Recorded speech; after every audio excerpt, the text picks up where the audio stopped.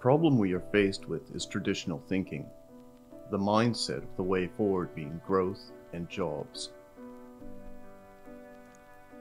It is understandable. We've been raised in this social environment all our lives, of course. However, there are many signs of failure, and they are all pointing at the same cause. We have massive unemployment to be sure, yet we also have the much less discussed issue of underemployment. We have climate change marching ever closer, the continual loss of global biodiversity, and the impending depletion of our all-important oil reserves. It is all intertwined. Our technological advancements are replacing jobs, faster than new ones can be invented. Spending is down, resulting in reduced employment hours, which feeds back to reduced spending. All the while, productivity is actually increasing. We want growth in the jobs market to get people back to work and to increase spending. Unfortunately, this growth has a negative impact on our environment as we produce and throw away increasing amounts of junk we really never needed. What we need in society is less, not more, and the less needs to be done much more efficiently.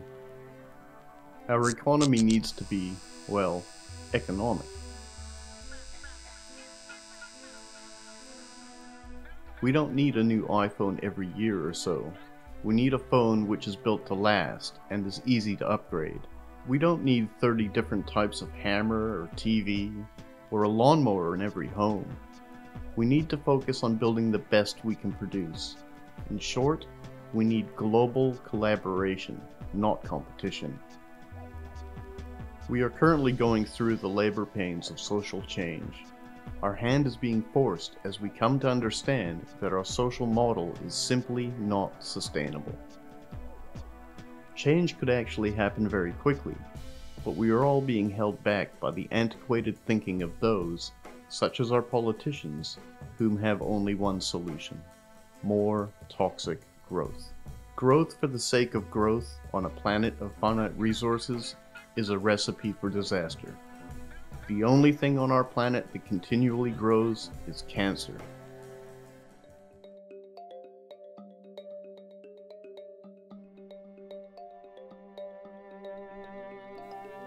It is time for a new way of thinking.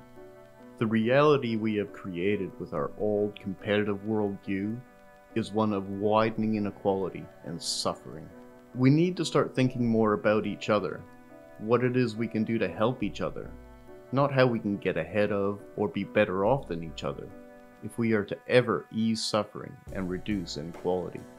We need a society which is focused on cooperation and making the best most efficient use of our limited resources, so we may sustain a high standard of living for everyone. We have all the tools we need in order to start making this a reality.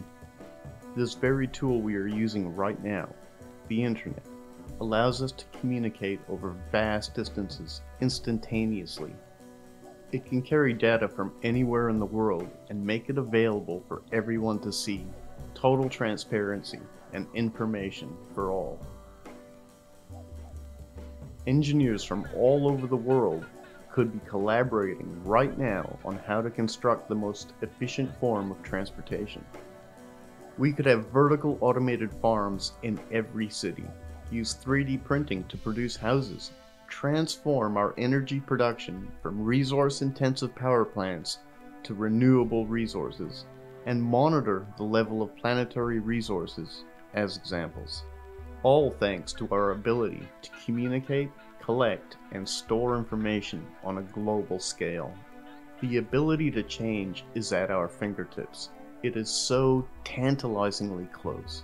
If only we could change our attitudes toward each other, alter our way of seeing and thinking about our world. You see, this is the crux of the problem, the dilemma. While we have the technical ability to change, we are yet to develop the collective desire.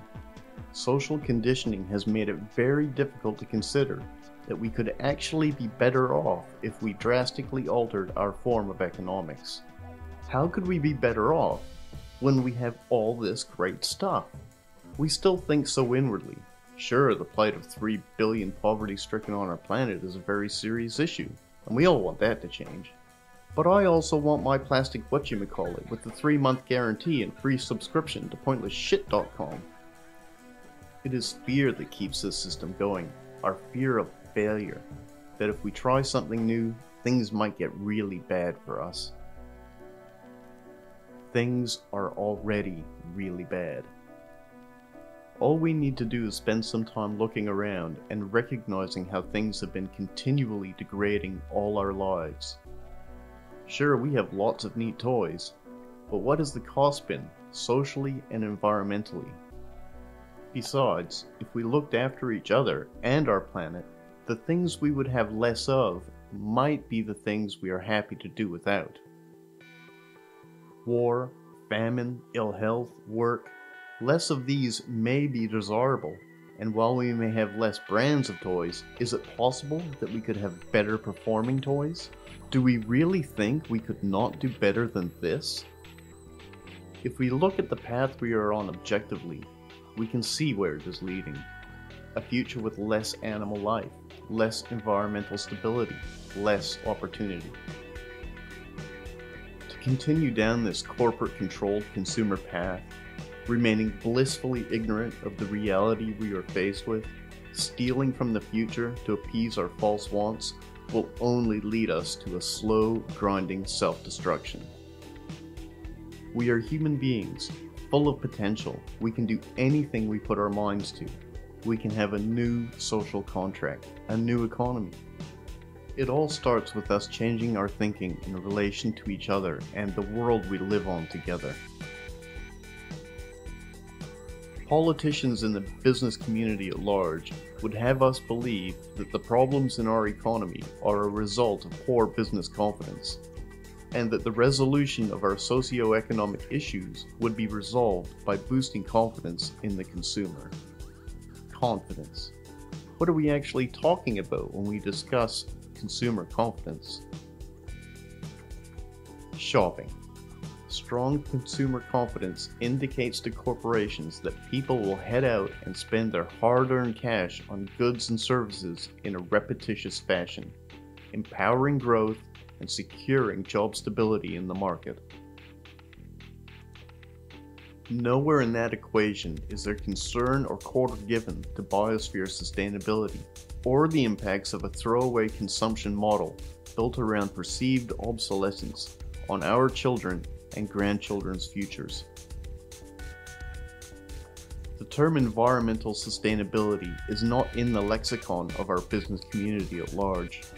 The focus is on profit projections, consumption trends, cuts to financial costs, and marketing to capture repeat custom. An economy that has its basis in environmental concern, sustainability, equality, and the type of freedom that does not require us to be told we are free. That is a direction we can head in as a species, in the direction of what has been termed a resource based economic model. A resource based economic model is more than an economic system, it is a way of life. A holistic social and economic system that requires the Earth's resources be viewed as the common heritage of all the Earth's inhabitants. That promotes the understanding that the Earth is not something to be divided and owned, but rather is our shared home, which requires our collective stewardship. It makes use of resources, not money, and concentrates on equitable distribution in the most humane and efficient manner possible. It provides all goods and services to everyone without the use of money, barter, credits, or any other form of debt of servitude. Our current scientific understandings and technological advancement can easily allow us to provide access abundance for all the world's population, and that is the aim of a resource based economic model. The implementation of such an economy will require a fundamental values shift. Hoarding, greed, and superficial commercially manufactured desires, which are so prevalent in our society today, have no place in such an economy. It is the pervasiveness of this values disorder can get in the way of understanding or even entering into discourse about this type of economy.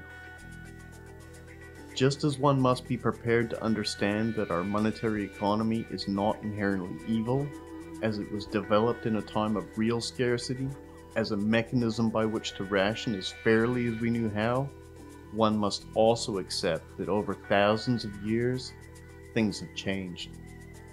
We understand more about our natural world, and our technical capabilities have exploded beyond what our rationing system can cope with. It is for these reasons that we must accept that questioning our current economy and its fundamental mechanics should not be seen as taboo, but as part of our natural progression as a social animal on this planet.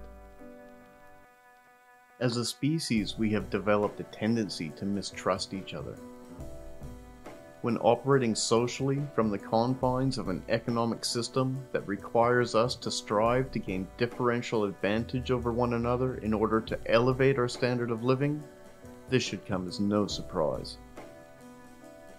Such permeating mistrust runs the gambit from the rational, having a reluctance to divulge personal information to unknown people over the internet, through to the irrational, being convinced that scientists are working in collusion with government agencies to gain control over us via a climate change conspiracy.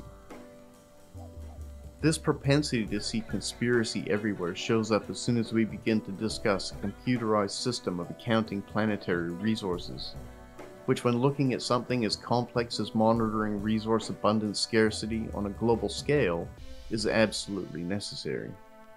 It is a commonly held misunderstanding that in a resource-based economy there will be a centralized supercomputer controlling our lives, dictating what we can and cannot do.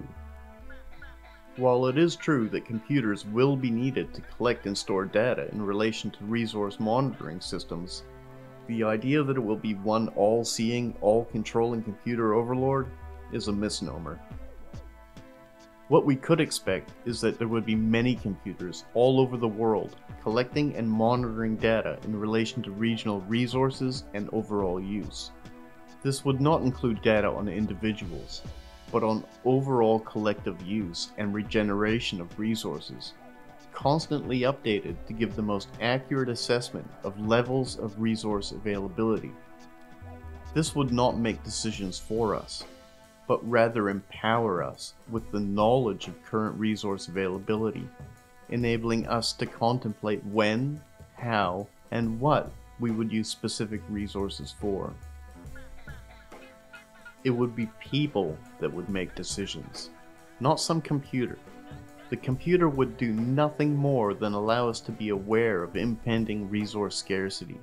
How we reacted to that information would be up to us. It must be understood that we are not going to awaken in the morning and suddenly find ourselves living in such an economy. Before that can happen, there are fundamental things that must change about the way we view our planet and each other. We must undergo a values shift, which will allow us to see each other as brothers and sisters sharing a small, delicate planet. That it is in our interest to nurture as opposed to stripping bare in some vain effort to get ahead of each other. This won't happen overnight, but it has already begun to happen all over our world. The more time we spend understanding our biosphere and how that relates to the welfare of not only ourselves, but every life form we share our home with, the more inclined we will be to question our current system's approach to life on Earth. The interconnected relationships we have with not only each other, but the planet itself will become increasingly apparent and will implore us to reassess our social methods on a continuous basis, keeping us from entering into some utopian stagnation, instead encouraging us to constantly update our methodology to come into line with up-to-date understandings and environmental circumstances. It is when it becomes accepted that a system has failed that emergent ideas can take hold and be allowed to flourish.